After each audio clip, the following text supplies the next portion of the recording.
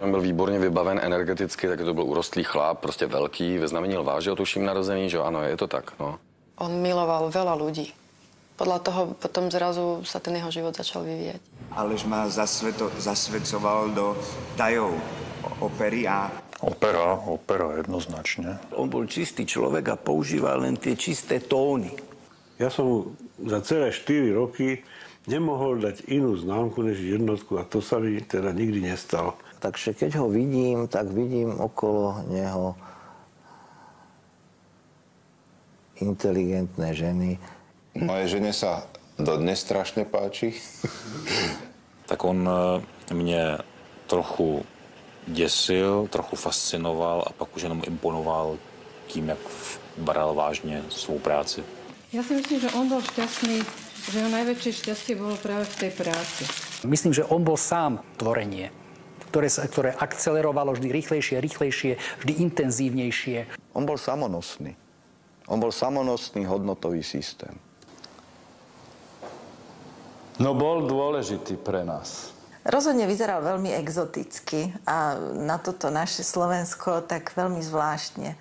A myslím si, že to bol jeden z dôvodov, prečo sa veľa ľuďom veľmi páčil a priťahoval ich. Excelencia. Moja žena hrala nejakú takú pani tam.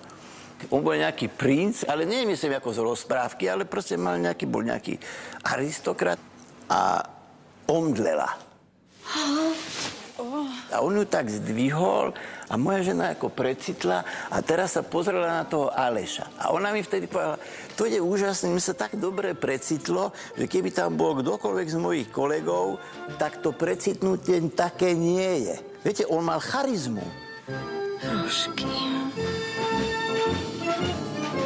A on túto charizmu aj používal. On, ja som si to všimol, že on... Aha, do, a šup s tou charizmou. A šup s tou charizmou. A vedel ovplyvňovať ten prostredie, v ktorom bol. som robil matematické olimpiády, chemické, tuším aj fyzikálna, taká bola, sa mi podarilo. Ďalšia vášeň bolo divadlo, ďalšia vášeň bolo kreslenie, takže ono toho bolo viacej. A mama sa tak spamätala skoro, tak ma tak nutila, aby som trošku sa venoval aj tomu výtvarnému, lebo že mi to ide. Myslím, že, že klasické dílo je toto. To je výroba cukríkov. Ale to není jenom tak jako, samo, jako samoučení. To on by vám býval dokázal přesně tu technologii vysvětlit. To on jako nedělal jako něco formalisticky. Ne, to mělo i technologické postupy. S tímhle tím on utvrzoval, že teda jako má na to výtvarno. Já myslím, že to je trošku moje práce, nebo já jsem je nutil do stavebnic. Jo, a tam jsme vyráběli všelijaký hrady a továrny. No tak tohle to je, je zachráněné jed, jedno z těch tisíce hejblátek, co on vlastně nadělal. To bylo to, to období toho pohybu. A to, jak viděli ten sebechovický Betlem, tak on to pojal tak hradně. Ale mně se, mně se líbí totiž ta mechanika, protože tomu dalo dost práce. Je pravda, že my jsme doma měli jedno nádherné divadlo, to secesní, nádherný kulisy. Tam byly jako třeba řidičský sál, peklo, mlíny, no prostě tam se dala dělat prodaná nevíce, cokoliv. No a typický jeho přístup, přece on se nespokojí s tím, co tam je, tak on začal si vymýšlet hry, i kulisy, protože to on má rád, když se tam něco bouralo, že jo. Nebo si vzal pytlík mouky a ten tam vysypal na tu scénu aby prostě udělal průraznost, aby to byla originalita. Robil si zvukára, robil si osvetľovača, Bábkové divadielko mal technicky prešpekulované úplne famózne. To bola zábava. Všechny ty hry si napsal. A teďka on jako teda, nejenom, že to má scénář, to je další sešit, takže on si aby to mohl hrát znova, tak měl všechny postupy. Tady to bylo osvětlení a tak dále, to tam má všechno vyznačené. No je to technicky málem dokonalý, že, že by se to dalo podle toho rekonstruovat. Tohle to totiž on eh, předložil na ty zkoušky eh, na školu a no, když to viděl, vychodil, tak prostě ho bral, protože viděl, že přišel scénograf. No já jsem byl zlej. Já jsem byl zlej, já jsem se ho nesnažil za nic pochválit.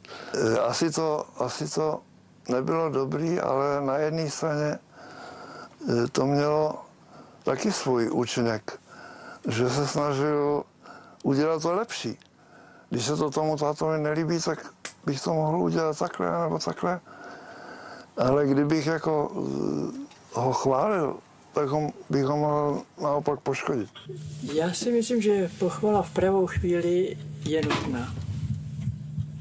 A že nemá člověk toho druhého srážet a se brát mu sebevědomí. Je něco jiného pochlebovat a je něco jiného pochválit, když je to e, na správném místě. Já nevím, jak my jsme se vlastně chovali. No tak, že když já jsem je tloukl, a vedl jsem je k většímu pořádku, tak ty si vždycky bránila, že abych toho už nechal.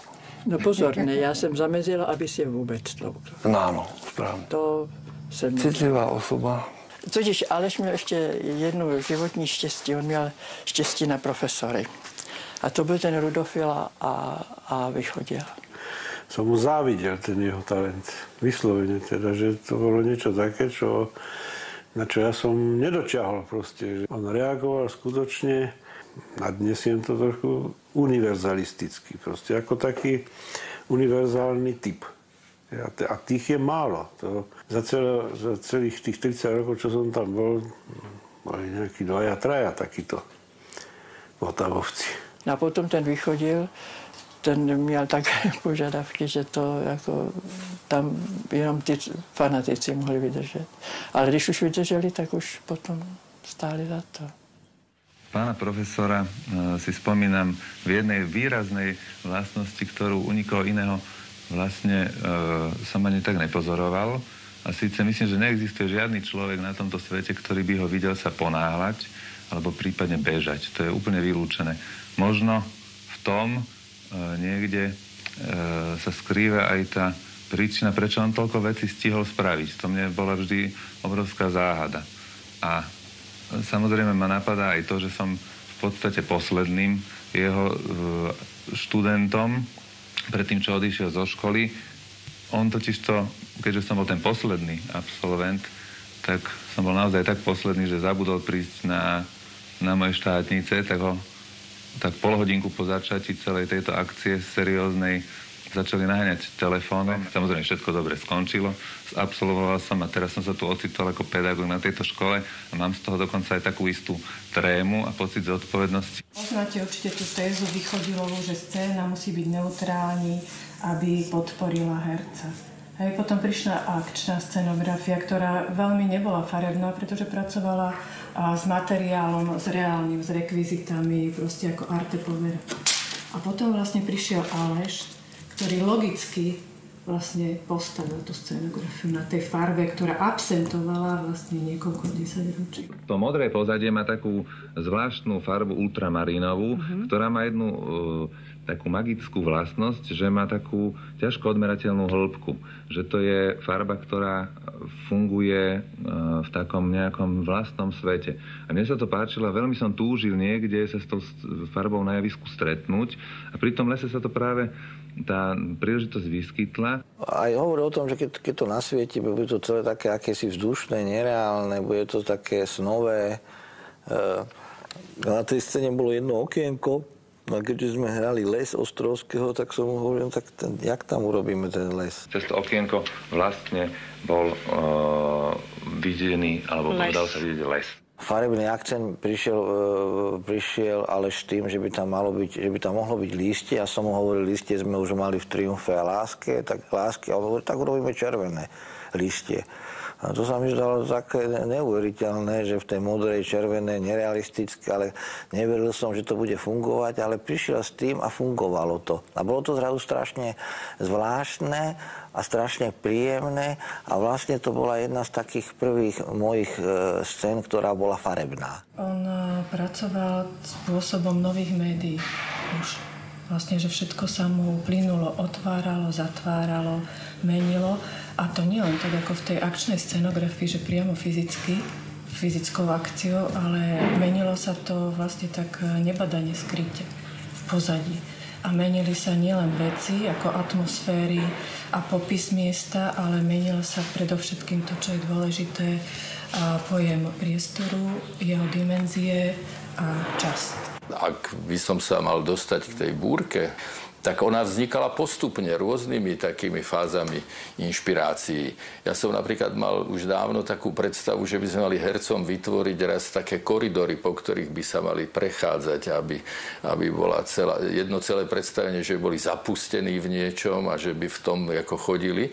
To sú všetky jeho záznamy k tomu prípravné fáze záležitosti, ako hľadal k téme adekvátny výraz, adekvátne prostriedky. Ako vidíte, inšpiroval sa práve rôznymi starými encyklopédiami, tlačami. Ten labyrint ako keby bol symbol tej životnej cesty každého z nás.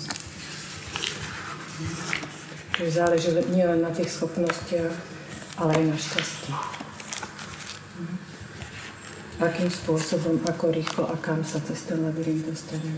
Obliekli sme to do tej zelenej trávy a v kontraste s holou podlahou šikminy javiska v pozadí, e, na ktorú sme potom hodili obrovskú handru a lietajúceho Ariela na dňu, ktorý dokonca tú handru síce s ťažkosťami vždycky s veľkým vypetím roborod to musel chytiť a tú handru v, v, tom letku odniesť preč. Na tej búrke totiž to bola jedna scéna, ktorá bola úplne najfantastickejšia a to bola tá začiatočná búrka.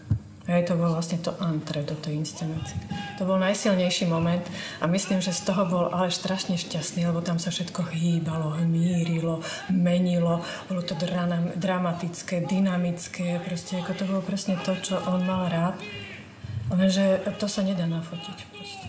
Ale narazil som na jednu pani, ktorá úplne od veci v rámci nejakej roboty popisovala niekomu inému, sedel som meter od nej, ako bola v divadle na predstavení búrka a ona tam viedla 10-minútový monológ. To je nádhera. Nedostala sa príliš k deju, alebo tak, ale scénu tam popisovala asi 10 minút. No to som musel napísať do mailu, potom som dodatočne zistil, že on si ho odložil, pretože som to po, po, popísal nejak tak, že aby si vedel, aký máš vplyv na masy. Väčšina jeho scén vedela podporiť alebo určiť e, koncepciu inscenácie. No a v búrke tam ten, tá, tá, tá Alešova prítomnosť, prítomnosť jeho dramaturgicko-scénického cítenia a tejto schopnosti bola, myslím, neobyčajne prítomná. Keď sme robili Angelea, teda hru zo slovenského vidieka, mystickú, nemali sme na scénu peniaze, ale vymyslel scénu zo 100 suchých chroškov, ktoré stáli 100 korún cc a natrete boli duvilaxom ďalších 100 korún. Celé to bolo zavesené na asi 15 špagátoch, tie rožky boli pod sebou a vytvárala sa taká veľmi zvláštna kinetická štruktúra. E, hrkotala ako staré kosti, to sa hodilo do tej mystickej hry zo slovenských hôr. Zároveň ten rožok bol falický symbol, lenže bola to aj hra o socialistickom realizme, ako preniká na dedinu a dedinčania utekajú k sústruhom, takže bolo tam aj to pečivo, symbol chleba. Čiže toto je možno nielen minimalizmus, ale aj výraz Alešovho humoru za 100 korún nám urobil geniálnu scénu, ktorú sme dlho skladovali, až kým sa nezmenila na prezle.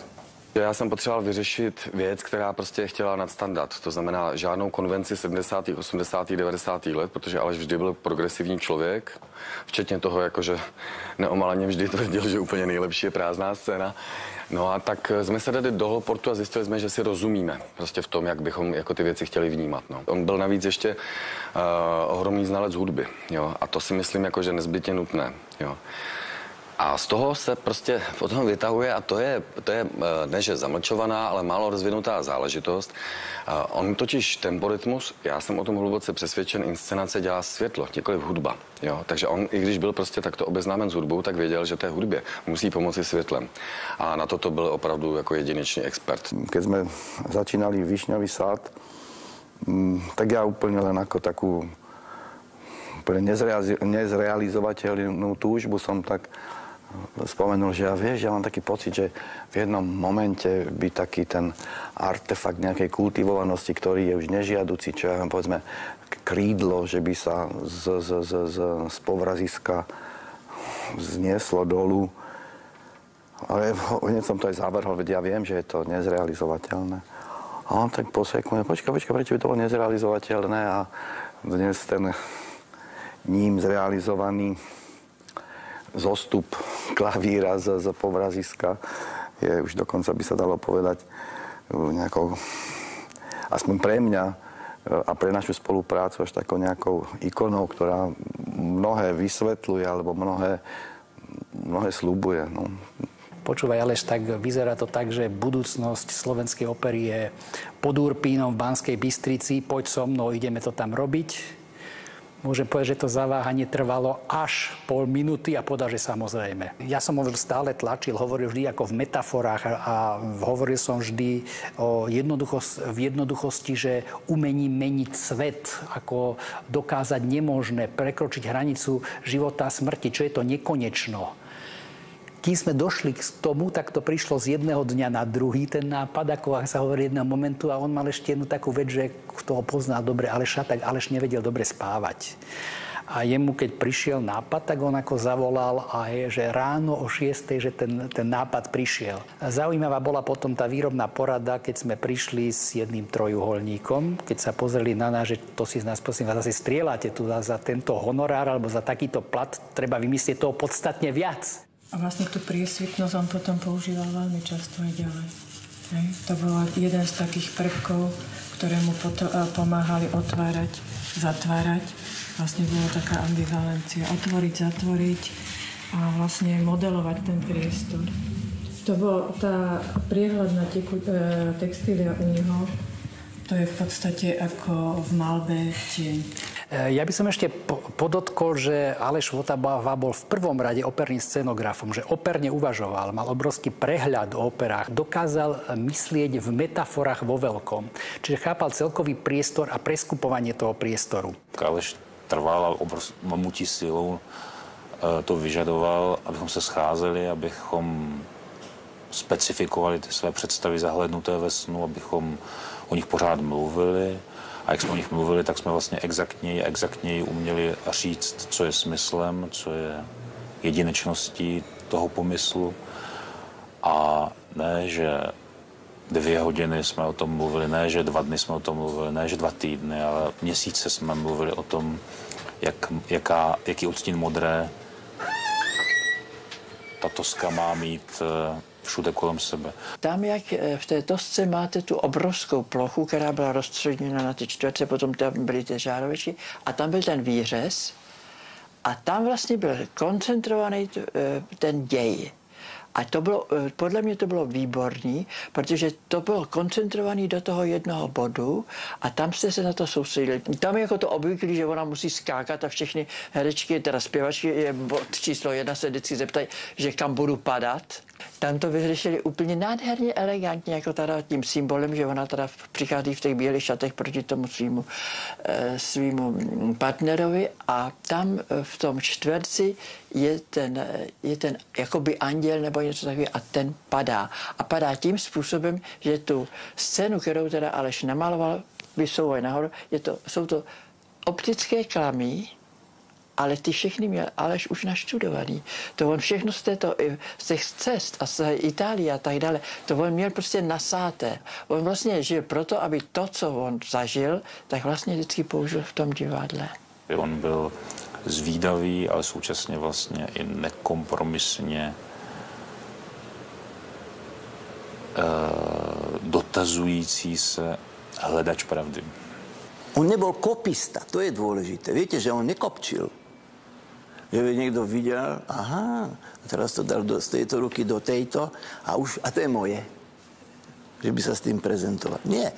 On vyhmátol tú podstatu a tú podstatu povedal, no vidíte, ja sa domnievam, že tento môj partner rozmýšľa takto a ja pre tento okamžik rovnako rozmýšľam. Nie, že mu šlo o ňom, že jak mal tie schody, alebo jak čo mal nasvietené, alebo že mal dominantnú zelenú, alebo Nie, nie, on, on vedel vyhmať, on bol inteligentný a vedel vyhmať tú podstatu. No toto je podľa mňa Alešov prístup k šperku. Proste nájde tehly, fantastický náhrdelník. Prosím ťa, odfoď ma. Neviem, či to dokonca mal vymyslené dopredu, vieš, že proste boli pasiky, chodilo sa, prikladalo a zrazu ho napadlo, že a toto teraz takto zapletieme, poď si sem sadnúť. A už to bola. Neviem, či mu náhodou Katka Bieliková, alebo niekto nepomáhal s tým, neviem. Lebo toto fotil Martin Štrba, to viem. A Aleš tie šperky vlastne nikdy nekoncipoval pre niekoho, ale to boli viac menej jeho osobné výpovede a ten šperk považoval možno aj za také možno trošku brnenie, ktoré si mm, niekto na seba dá. To sme sa snažili urobiť fotografiu ako z roku 1900.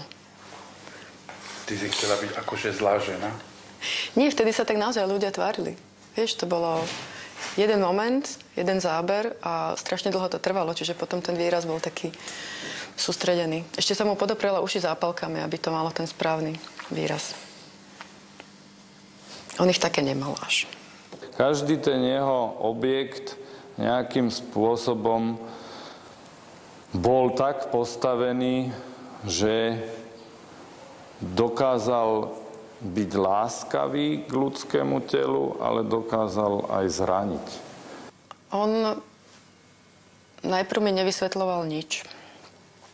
Najprv sa proste sám s tým trápil a boril a, a potom sme sa postupne o tom začali rozprávať. Ale s tým, že ani on nevedel, o čo ide. Mm, tak čo ti poviem o tom? no... Tak on robil šperky a viem, že ja som mal nejaký prsteň alebo niečo také a, a buď som si chcel nejaký niečo, niekde sme boli onko kúpiť, alebo sa mi nejaký páčil a proste tak to považoval za absurdné, aby som mal nejaký kúpený e, prsteň a v podstate ako na Vianoce som dostal ako dar, ktorý ako veľmi tajne urobil niekde, niekde v Prahe. Čiže až potom, keď vlastne rozprával Eh, aké peripetie zažil v Prahe po všelijakých dielňach a pokutne, jak to musel robiť, tak samotný ten eh, zrod toho prstenia bol asi dosť dramatický a eh, zaujímavý. Je to taká sebareflexia v kove alebo v materiáli v rôznom. Že sú to veci, ktoré zrazu vychádzajú z nejakého jednoduchého nápadu. Pevne verím, že obsahujú v sebe aj hmm, kus mojej vlastnej duše, či cítenia, či čo, nechcem hovoriť veľkolepými slovami. Uh, som tam slobodný, no. Tam, tá sloboda mi učarovala. Su presto andiam! Su, su!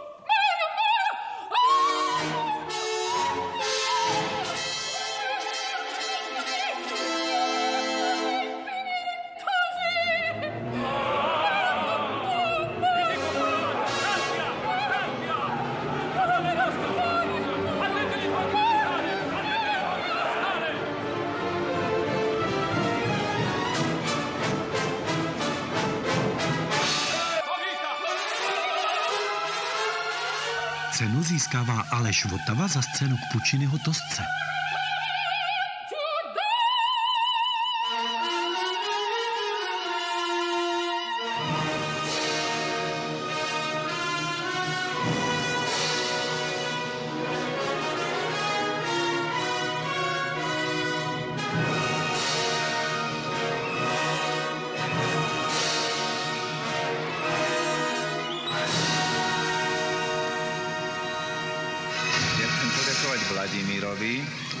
Vedeniu tohto úžasného divadla, že som mohol robiť tu kulisy.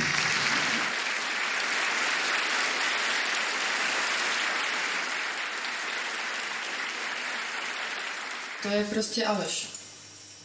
Toto bol Aleš, tak ako ja som sa s ním zoznámila, ako ja som ho spoznala a vyjadriť tu jeho multitalentovanosť a jeho, jak sa do všetkého púšťal absolútne spontánne. Jediné, čo ma napadlo, bolo dať mu 4 ruky. Somewhere a place for us Peace